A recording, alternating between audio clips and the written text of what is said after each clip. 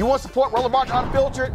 Be sure to join our Bring the Funk fan club. Every dollar that you give to us supports our daily digital show. There's only one daily digital show out here that keeps it black and keep it real as Roland Martin Unfiltered. Support the Roland Martin Unfiltered Daily Digital Show by going to RolandMartinUnfiltered.com. You can make this possible. Folks, today on Capitol Hill, Reverend Dr. William J. Barber joined members of Congress to call for uh, a Reconstruction resolution to confront what's happening with the poor in this country. This is what they had to say. We know that if we're going to get the omnibus legislation necessary for a third reconstruction, reconstruction fully addressing poverty and low wealth from the bottom up, we must address several interlocking injustices simultaneously. Can't separate them anymore. Systemic racism as it relates to all of racism, black, against black people, brown people, indigenous people, Asian people, and the collateral damage done to white people because of systemic racism. Systemic poverty, ecological devastation, denial of health care, the war economy, and militarization of our community, and the false moral narrative of religious nationalism. We know that the cost of not addressing inequality is too high. This is the question we ask the media to ask because we already know what the criticism will be. Well, how much does it cost? But Joseph Stiglitz, a Nobel Peace Prize economist said for us, this is the real question. What is the cost of inequality? What is the cost of leaving it as it is? This is a moral issue rooted in the com commitments of our Constitution, that the first thing we swear to is to establish justice, promote the general welfare, and to ensure equal protection under the law. This is a moral agenda, but a moral agenda from my faith tradition, this is Pentecost week for me as a Christian. And in Pentecost, morality is not just folk coming together and singing we love each other. It is coming together by the Spirit, building a community where there is no lack. So a moral agenda is also a sound economic agenda. We must preach good news to the poor. Those Greg, um, in that first segment, you talked about public policy. Mm -hmm. That's what Barbara is talking about when we talk about the third Reconstruction uh, dealing with public policy and how to impact what's happening with the poor. You're absolutely right, Roland. I mean, and listening to uh, Representative Lee and Representative Jayapal today as they talked about this Reconstruction resolution. Mind you, not legislation, a resolution, just trying to, to to to get into the conversation, it really ties directly to what uh, to the large conversation we were having just before the break. You know, you don't transform a society in a modern world system built on capitalism, you don't transform it through capitalism. You have to organize people. And so uh, what what I'm saying is that when we heard Reverend Barber and then Representative Jayapal and Representative Lee today, you know, when you talk about 140 million poor people or people who are just a step from disaster, as Representative Lee said today, and you emphasize the fact they make up 30%, that we make up 30% of the electorate, then what you're saying is that public policy is the way that those who are not the winners in a winner take all zero sum game called global capitalism, believe me, capitalism doesn't stop at the US border. What's going on in Palestine right now with Israel, what's going on in Africa and the Caribbean and Latin America has a direct connection to why you pay so little for draws in Walmart. But I mean, without getting into that. Public policy in this country means Barber and, and, and all are saying we must now redistribute resources. Because if you don't redistribute resources, if you don't eradicate po- poverty from the bottom up, as he said, and as Representative Lee said today, here's what's going to happen because capitalism is really unsustainable. Those people who don't have a place to eat and sleep those people who don't have health care, those people who don't have a capacity to earn a living wage, you know what those people are going to say? They're going to say, well, I guess I'm a loser. I guess I'll sit down here and die. No. As the dude told me when I was getting my doctorate at Temple, and I, saw the brother, he had, he said, man, they getting around of layoffs over here. He, he worked on the crew at Temple. I said, what you going to do, man? He said, I'm going to get this last check and buy a pistol and a ski mask. See, here's yeah. what people don't understand about capitalism. It is unsustainable. You know, you stop war, you create a society where people don't feel like they have to go out and rob somebody, damn it, because you ain't got enough police. We're going to talk about the killers a little bit later. But what we're seeing now is the result of, of stratospheric inequality. And that's what Reverend Barber, Reverend Theoharis, the Poor People's Campaign, and the tradition of Martin King and everybody else is trying to stop before it spins out of control and we all out here trying to find a gun. And that's when you're going to find out the Second Amendment ain't worth the paper it's written on because you ain't going to be able to get a gun. See, Reese, this is one of the reasons why um, when all these companies were complaining, they were complaining about, you know, these unemployment benefits. And I, got a tweet earlier, and I wish I can remember who sent it to me. Um, and it was it was one guy who he had to raise his wages to $15 an hour, and then he started marketing his available jobs. Guess what happened? They all got filled. Then guess what happened? He didn't see a drop off in revenue. See, what what, what you're seeing with this third, what you're seeing people demand $15 an hour, you're seeing people say, y'all want somebody to work for $7 an hour, you're not providing any child care, uh, I don't have transportation. So hell yeah, I, if I if, if I got to go through all of that, I might as well just take unemployment. If literally I can't even afford the child care. Hmm. So all these pro-lifers, yeah. the party of family values, hmm. don't like Head Start, don't like prenatal care, all of a sudden, y'all want to holler, uh, why these lazy folks can't work? A lot of them want to work, but there are other impediments to keeping them from working.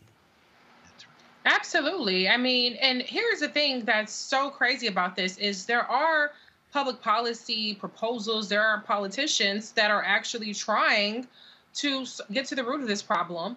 But what's happening, the, the, the number one way to combat that is not actually through this capitalism it's actually through this propaganda campaign, this disinformation and misinformation campaign that keeps mm. people distracted, that keeps people dumb, that keeps people ignorant, that actually empowers their ignorance through all of these false through all this false information to turn them against the very people that are actually trying to propose the solutions that will uplift their lot that is the craziest part about the society that we're living in. So I, I, I understand Dr. Carr's position about capitalism and being unsustainable, but I think one of the one of the really pressing issues that doesn't get enough attention is how unsustainable our society is if we continue to live in a society where we don't agree on a basic set of facts where we don't live in a fact based society. We don't live in a science based society when it comes to this pandemic and the vaccine, for instance. We don't live a fact based society even when it comes to our politics. And I've seen this, I'm not going to invoke any names because we don't have time for all that.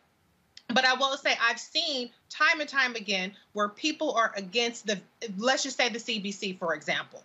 The CBC gets more shit than Mitch McConnell and Kevin McCarthy and any of these other even Donald Trump did at the time and they're the ones who have put forth the HR 40 Commission. They're the ones who have been the conscience of the Congress. They're the ones who have, for decades, tried to push forth poverty reducing measures, health, universal health care. John Conyers was the one who introduced it over and over again before Bernie Sanders became popular for for for champ or not championing it, but for talking about it. Let me say that. And so we have a disconnect in between where we have people that are so blinded and so uh, captivated by disinformation that they're actually making it that much easier to keep them down because they're not supporting the people. And it's not a magic wand, but it does start with actually supporting the politicians at every single level that are actually proposing these solutions. Mustafa.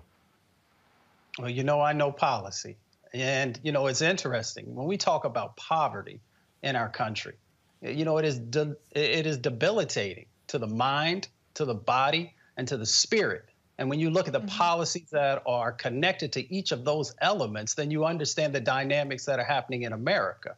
You know, we understand the lack of investment that is happening around education and accessibility, uh, and how we are unwilling to pay folks who are actually creating the next set of leaders for our country. So that says something about our country and where we place value on individuals. When we talk about the body, there's no reason for folks to be dying prematurely from air pollution or when they turn on the tap that they can't have clean water coming out or being exposed to lead.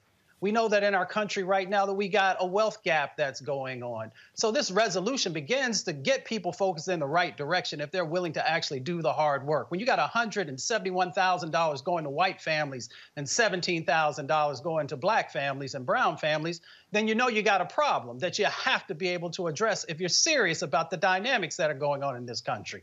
When you got 24 million people who are dealing with food insecurity and living in food deserts, and 25 million people who are in physician deserts and medically underserved areas, and they can't actually even get to a doctor, even in a COVID-19 pandemic, then you know you got some you got some problems that are going on. When you got 500,000 people who every night in this country are going to bed homeless or housing insecure. Mm-hmm that goes back to the poverty part of what Dr. Barber was talking about.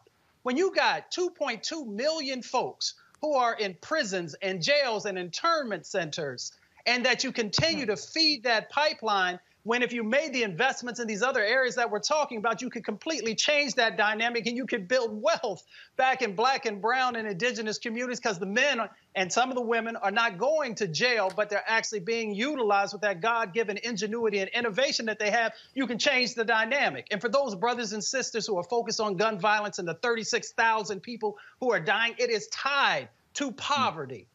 Yes, people sir. are making mm-hmm. choices, people are losing hope because folks won't invest in them.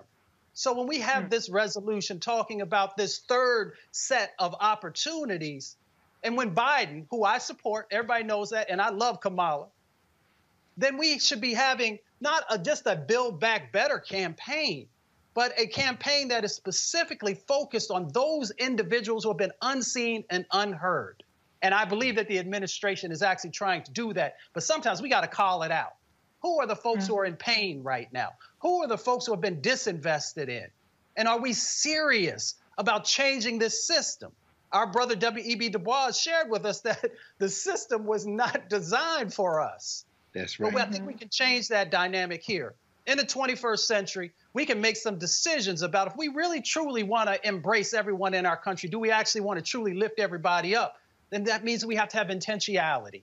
And we have to have intentionality in making sure that policy, which has been infused with racism and discrimination and biases, that that is extracted and that is no longer allowed and that there is penalties for those who continue to utilize those types of practices, whether on the federal, the state, the county, or the local level. That's right. Here, here. We can leave it at that. All right, folks, back to our Roland Martin Unfiltered video in just one moment. It's time to be smart. When we control our institutions, we win. We win. This is the most important news show on television of any racial background. Y'all put two, three, four, five, 10, 15, 20, 30 dollars on this and keep this going. What you've done, Roland, since this crisis came out in full bloom. Anybody watching this, tell your friends. Go back and look at the last two weeks, especially of Roland Martin Unfiltered. I mean, hell, go back and look at the last two days. You've had sitting United States senators today, Klobuchar and Harris. Whatever you have that you have, you can bring to Roland Martin Unfiltered to support it. Please do because this information may literally save your life. Watch Roland Martin Unfiltered daily at 6 p.m. Eastern on YouTube, Facebook, or Periscope, or go to RolandMartinUnfiltered.com. Support the Roland Martin Unfiltered Daily Digital Show by going to RolandMartinUnfiltered.com. Our goal is to get 20,000 of our fans contributing 50 bucks each for the whole year. You can make this possible. RolandMartinUnfiltered.com.